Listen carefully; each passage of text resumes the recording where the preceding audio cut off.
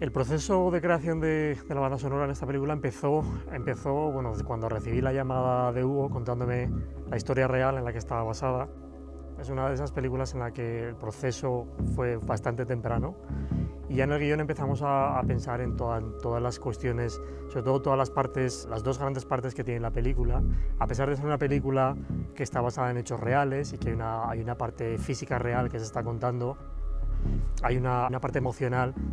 que es la que está, que digamos que está dentro, está casi oculta. Y eso fue desde el principio lo que, lo que nos llevó a ir buscando referencias que, que nos llevarán a encontrar el camino, el camino final.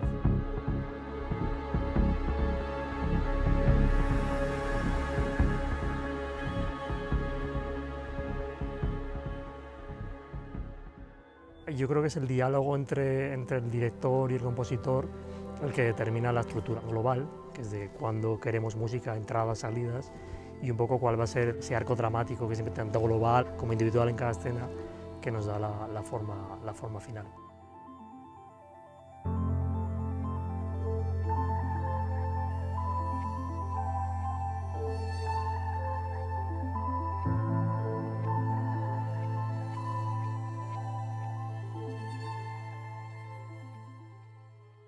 El mayor reto fue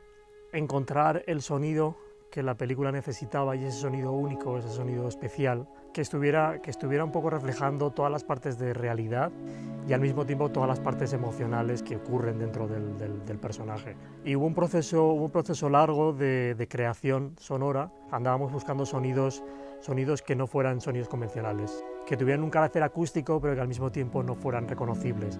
Hay un gran proceso en la película de, diseño sonoro, diseño sonoro para la música, que surgió de, a veces de grabaciones eh, de, que venían de sintes analógicos, de sistemas modulares, a sonidos convencionales que podemos encontrar, pero que están procesados para que al final tuviéramos sonidos únicos que fueron creados expresamente para la película.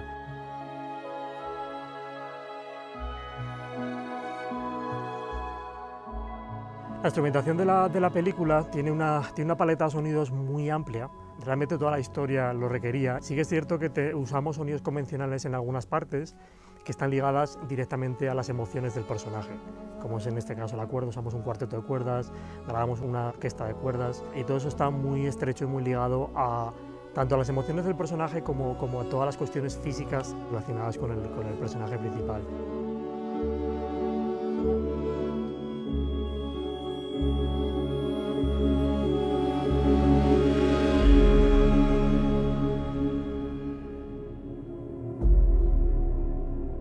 Creo que la, que la isla llegaba a tener vida propia y era, era como una especie de lucha constante con el, con el personaje. Llegó un momento en el que, el que me di cuenta que ese, ese personaje, que era la, la, isla, no solo el personaje principal, estaba adquiriendo más fuerza. Y de hecho hay un, hay un leitmotiv en la película, que es el leitmotiv de peligro, que, que casi es el leitmotiv de la, de la, propia, de la propia isla luchando contra, contra el personaje.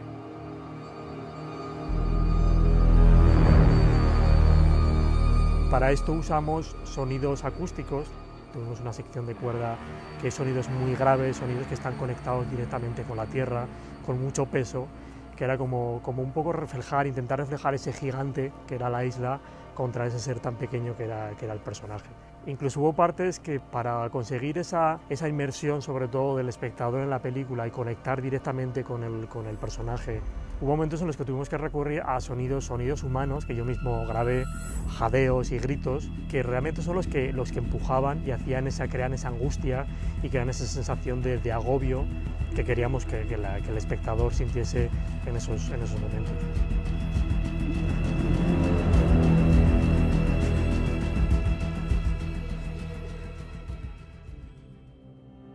Trabajar con Hugo tiene muchas ventajas, sobre todo porque Hugo es, músico,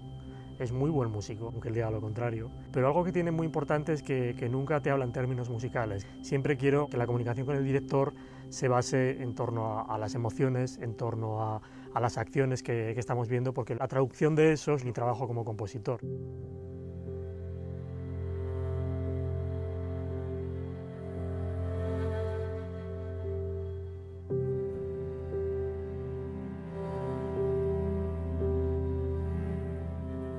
Conecté mucho también emocionalmente con el, con el personaje. Lo pasé, lo pasé, hubo momentos que lo pasé mal, incluso emocionarme con él. Recuerdo incluso varios momentos de, tener que parar el proceso porque no, no podía seguir. Hubo una semana incluso que, que mi, mi, estado anímico estaba, estaba afectado hasta que me di cuenta que era por, por este, por, porque me había metido tanto en ese, en ese papel, había conectado tanto que, que me afectaba a mí emocionalmente también. Creo que es la única vez que me ha pasado esa conexión tan directa.